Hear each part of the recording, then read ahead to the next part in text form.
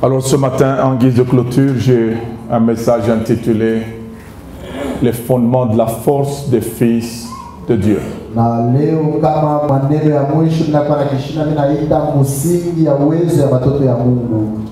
Fils sur, sur quoi s'appuie notre identité de fils de Dieu pour que nous soyons forts dans la création.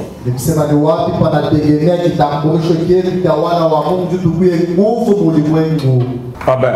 Amen. Premier élément qui fait notre force en tant que fils de Dieu,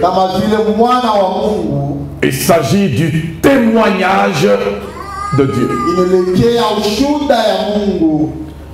Et le témoignage de Dieu est à comprendre à deux niveaux. Ce que Dieu dit de nous et ce que Dieu nous dit. Amen. Amen. Pour ceux qui le notent, notez-le. Ce que Dieu dit de nous et ce que Dieu nous dit. Ce que Dieu dit de nous, c'est ça qui fait notre valeur. Et ce que Dieu nous dit, c'est ça qui façonne notre destinée. Pas kutengeneza, kutunga. Amen. Amen. Lorsque vous lisez la Bible, vous allez remarquer que Dieu a une formule lorsqu'il commence à créer. Il parle. Ce qu'il dit est un ordre d'existence. Il dit que la lumière soit. Et lorsqu'il dit que la lumière soit, la lumière apparaît et Dieu observe ce qu'il fait et après il nomme la chose qu'il fait. Que la lumière soit et la lumière fut. Il sépara la lumière d'avec les ténèbres. Il appela la lumière jour. Et avant de l'appeler jour, la Bible dit qu'il avait vu qu'elle était bonne. Donc dans la formule de création, Dieu ordonne, après Dieu observe et contemple la chose qu'il a amenée à l'existence par ordre. Kisha Mungu anatazama kile kitu afanya kishi kupitia ile ruhusa Après, il nomme la chose na kisha anapanga njia et il passe à une autre étape. na anapita kipande kingine Amen. Amen. Il a déclaré qu'il y ait une étendue qui sépare les eaux d'avec les eaux. Quand l'étendue est venue, même formule. Il a nommé, il a vu que cela était bon. Ça, c'est la formule de la création des choses. Et Dieu a avancé avec elle jusqu'au cinquième jour. Mais quand on arrive au sixième jour, cette formule disparaît. En principe, Dieu devait dire que l'homme soit. Selon la formule, il fallait que l'homme apparaisse et que Dieu le contemple, qu'il réalise que l'homme est bon. Après, il le nomme. Ça devait être ainsi, n'est-ce pas? Selon la formule, qu'il y ait des luminaires. Et Dieu créa le grand na luminaire. Le petit luminaire et les kidogo Il appela le grand luminaire soleil, le petit lune et les étoiles. Il vit que cela était bon. Ce fut le quatrième jour. Donc il y a un ordre, ruhusa il y a nomination, après il y a contemplation de la chose créée et nommée.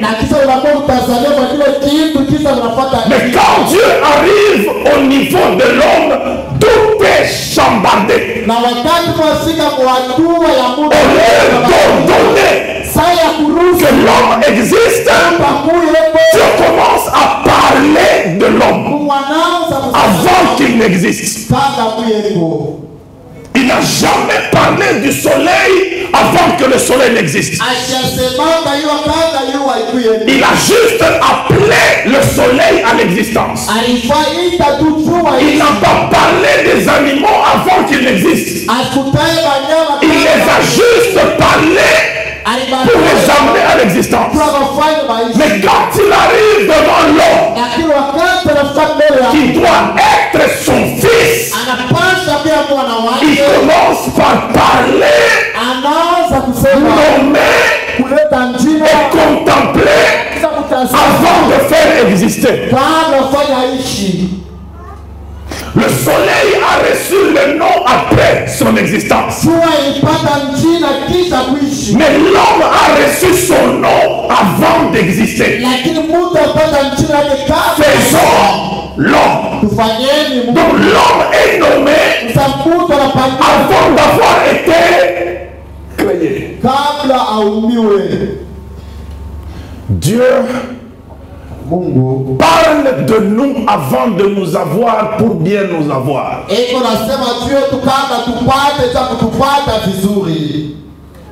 Amen.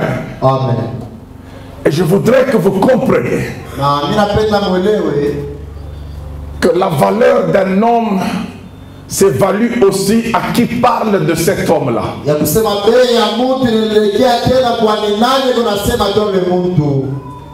Qui parle souvent de toi. Qu'est-ce qu'il dit de toi quand il parle de toi? Et qu'est-ce qu'il te dit quand il te parle?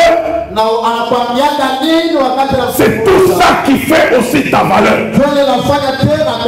Lorsqu'il n'y a que des voyous qui parlent de toi, il faut se poser des questions. Lorsqu'il n'y a que des wakati qui kubaya parlent de toi, tu dois te poser des questions. Lorsqu'il n'y a que des voyous qui parlent avec toi, Tu. Dois te poser des questions. toute notre valeur s'évalue également à qui parle de nous, qui parle avec nous? Et qu'est-ce que ceux qui parlent avec nous nous disent? Quand le président commence à parler de toi, c'est qu'il y a des gens qui vont trembler parce que bientôt là tu seras au-dessus d'eux. Quand vous prenez le psaume 8, ukende zaburi sura ya mnane la Bible présente l'homme mtu comme une petite créature mais que Dieu a élevé au-dessus du soleil, au-dessus de la lune, et il a remis l'ouvrage de ses mains au pied de cette petite créature. Vous avez déjà vu en face un éléphant ou une girafe, combien c'est géant? Vous risquez de vous perdre, de vous dire, mais est-ce que Dieu est normal quand il dit que c'est à nous de dominer sur ça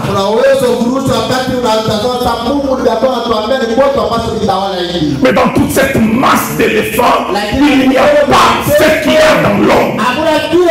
Il y a dans l'homme ce qu'il n'y a pas dans cette grosse masse qu'on appelle éléphant. Est-ce qu'on peut nous comparer aux oiseaux Les oiseaux volent quand ils veulent, n'est-ce pas Bandege wananuka Les oiseaux entrent dans l'air quand ils en ont envie. Nous, nous n'avons pas d'aile. L'oiseau en a. Il est privilégié pour entrer en l'air. kwenda Mais entre l'oiseau et l'homme, qui va plus haut dans les airs?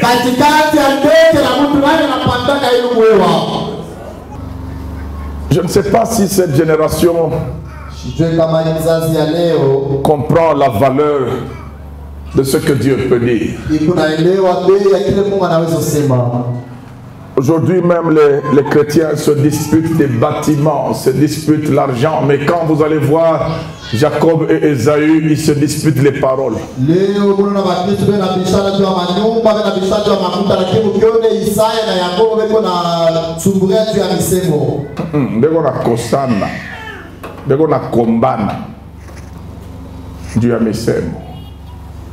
Amen amen.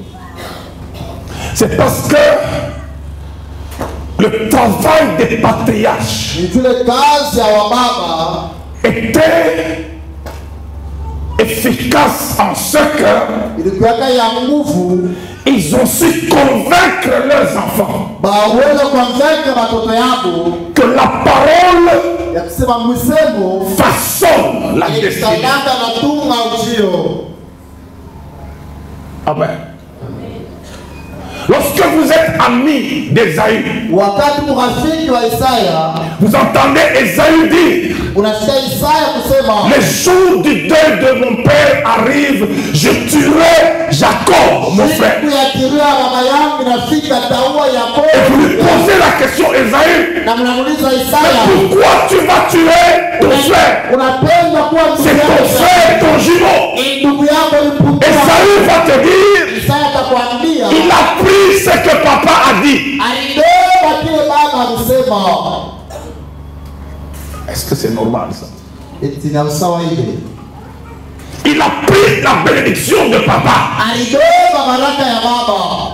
Tu vas lui poser la question, mais isaya explique-moi un peu, qu'est-ce qu'il a pris? Il a pris la bénédiction de papa.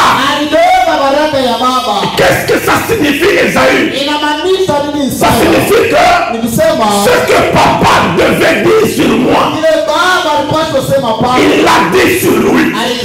Et vous allez lui poser la question, mais qu'est-ce que ça fait? Il va te dire, tu ne comprends rien. Ce que le Père dit, c'est ce que devient le Fils.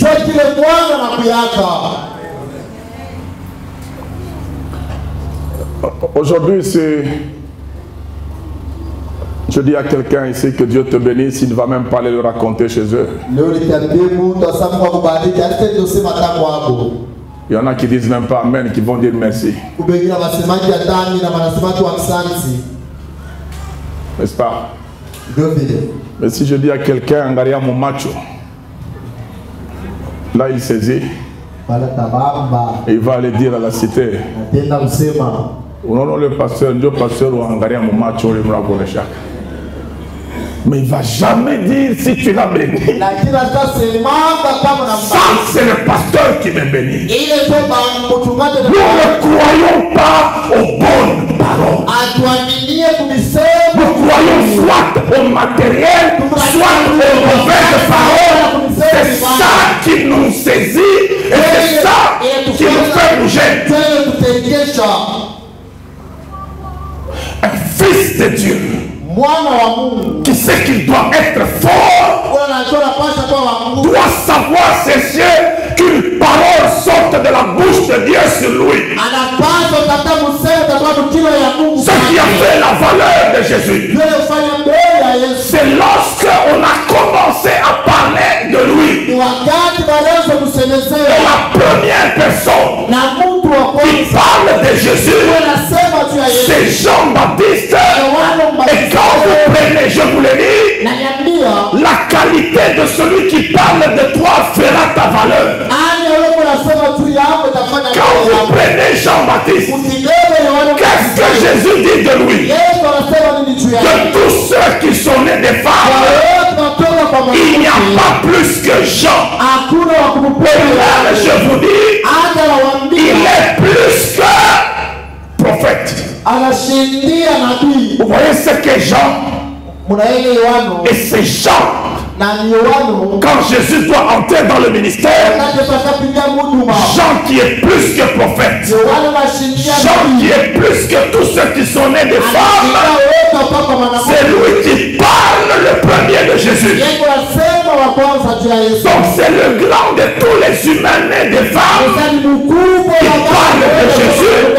Et quand lui c'est le Père maintenant qui commence à parler de Jésus. Lorsque. Jésus se soumet au baptême, il sort de l'eau. La Bible dit, le ciel s'ouvrit et une voix se fait entendre. Celui-ci est mon fils wa qui je mis toute mon affection. Et que la destinée de Jésus commence avec la parole de l'homme le plus grand des hommes wa et du Dieu le plus grand des dieux. Tu dois savoir qui est autorisé à parler sur toi. Soumets-toi à ceux qui sont autorisés à parler sur toi. Il s'est soumis à Jean, le plus grand de tous ceux qui sont nés des femmes et le plus grand de tous les ministres de l'Ancien Testament. Plus que prophète, il a parlé de lui. Et le Père au ciel a parlé de lui. Ta vie est sous encadrement de quelle parole? Qui parle avec toi? Qui parle de toi? Est-ce que tu sais que ta vie coûte celui que tu écoutes?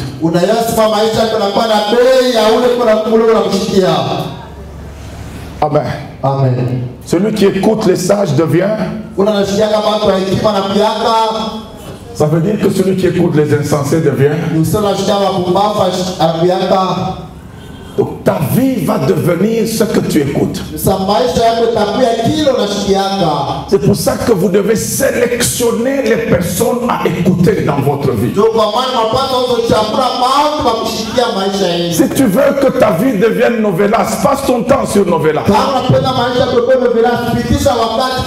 Mais si tu veux que ta vie prenne le modèle de Dieu, passe ton temps à écouter Dieu. Kushikia Mungu Amen. C'est pour ça qu'à 12 ans, Jésus allait écouter des gens qui parlaient de Dieu. Votre vie va prendre la valeur de qui vous écoutez. Votre destinée va prendre la forme des bouches autorisées qui parlent sur vous. Et ici, je voudrais, avant d'aller plus loin, mbali ramener un peu les gens à ces deux choses-là. Parce que quand vous prenez la vie de Jésus, le témoignage lui vient des autorités terrestres, mais inverties de pouvoir d'en haut. Et il y a également le témoignage qui lui vient directement d'en haut. Amen. amen Apprenez à vous entourer du témoignage et terrestre et céleste. Partout où peut vous bénir une bénédiction, vous venir une bénédiction autorisée divinement, prenez-la.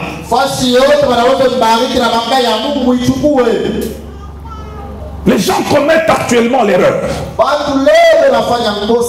de trop mépriser l'autorité familiale. Amen. Surtout les orphelins de père. Comme papa n'est plus, ils ont l'impression que maman n'a pas d'autorité parce que papa était l'autorité. Non, attention.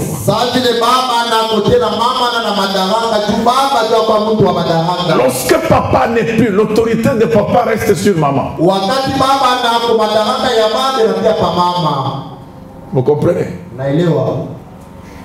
Faites de votre mieux mufanye pour yote que de leur vivant, que vos parents prennent le temps de vous bénir. Parce que leur témoignage sur vous engage le domaine spirituel. Les parents font partie des personnes qui ont autorité. Ça signifie les gens qui autorisent aux choses d'arriver et qui interdisent à certaines autres d'arriver. Pour que la terre soit libérée de la malédiction du sol. Dieu n'est jamais descendu pour enlever la malédiction du sol de lui-même.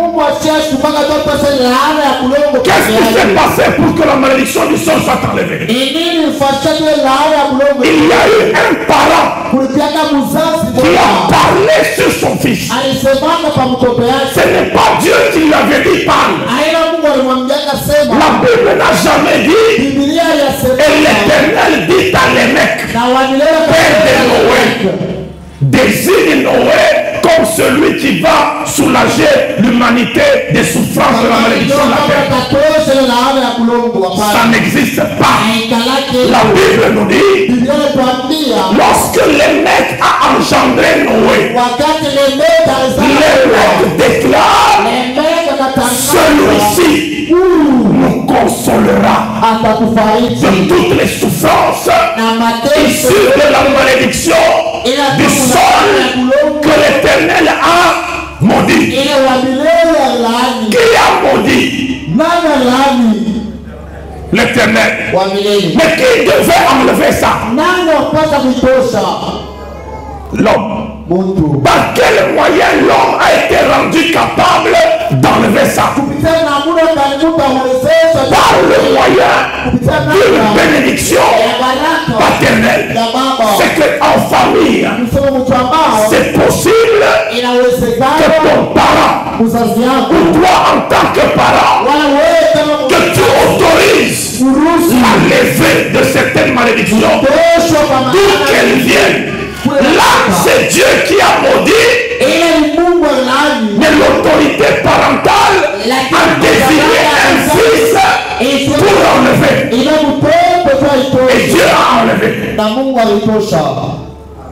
Qu'est-ce que nous disons de nos enfants?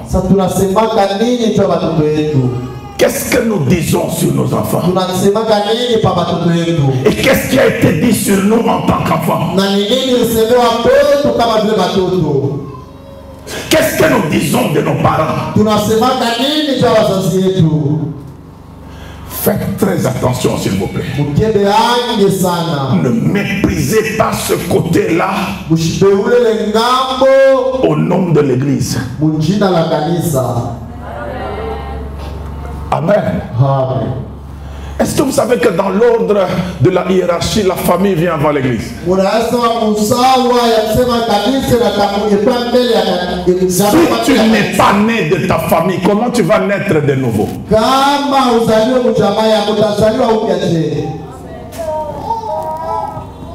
Qui donne à l'Église ses membres, n'est-ce pas les familles? C'est lorsque Dieu réussit de te placer dans une famille d'hommes qui te qualifie pour t'introduire dans la famille de Dieu. En dehors de Jésus, personne n'est né dans le royaume des cieux. Nous tous, on a commencé par naître dans les familles d'hommes pour renaître dans la famille de Dieu. Mzaliwa mfalme ya Mungu. Sisi tuanzia ya à la vérité, l'Église est arrivée lorsque la famille avait échoué, Dieu a commencé par un couple. Quand ce couple a échoué au jardin, c'est alors que Dieu a ouvert. Le plan de l'église pour récupérer ce que ce couple-là avait raté. ilikosaka Amen. Donc comprenez ces choses. Si vous avez des problèmes dans vos familles, s'il vous plaît, allez régler et que vos parents vous bénissent. Ne soyez pas là seulement à déclarer sans effet, je suis né de nouveau, les choses anciennes sont passées. Attention, la famille ne passe pas. vyote vinapita La famille ne passe pas. Si vous avez des problèmes, vous avez méprisé l'autorité de la famille, s'il vous plaît, rentrez pour arranger et que cette autorité-là vous bénisse. Amen. Il fallait qu'une autorité parentale désigne un enfant pour que la malédiction soit levée de la terre. Deuxième point d'appui, deuxième point qui fait la force des fils de Dieu. La naissance d'en haut. Lorsque Jésus est abordé par Nicodème, Nicodème est docteur de la loi, c'est que c'est l'une des personnalités les plus respectées en Israël. Mais Nicodème se rend compte que Jésus est aussi docteur, mais il y a une différence entre son doctorat et le doctorat de Jésus. Alors il est inquiet. Il commence à se dire, à ce rythme, la manière dont Jésus avance, notre système est en perte de vitesse et il risque de disparaître. Parce que l'homme ici a une autorité que nous n'avons pas. Et qu'est-ce qu'il faut faire? Nini? Vaut mieux découvrir son secret et entrer dans son système. Ça, j'aimerais vous le dire. hein. Lorsque vous voyez qu'il y a quelqu'un qui a plus que vous, ayez le soin d'approcher la personne. Soyez humble pour lui dire nous sommes dans le même domaine. Mais qu'est-ce qui fait que tu excelles et nous wewe n'excellons pas? Alors il va voir Jésus pour lui dire d'abord, kwanza je reconnais que tu es un docteur venu. C'est qu'il y a en toi une supériorité que nous n'avons pas. Maintenant Jésus lui pose. En fait, Jésus lui explique maintenant d'où vient la différence.